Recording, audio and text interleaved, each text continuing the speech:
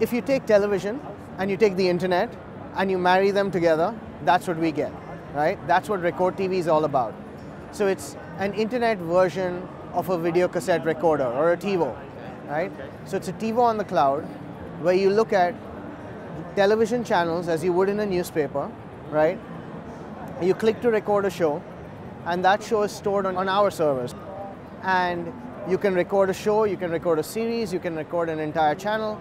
All of it is on the cloud, no hardware, no software, nothing to install. You know, people talk about set-top boxes, we call it a net-top box.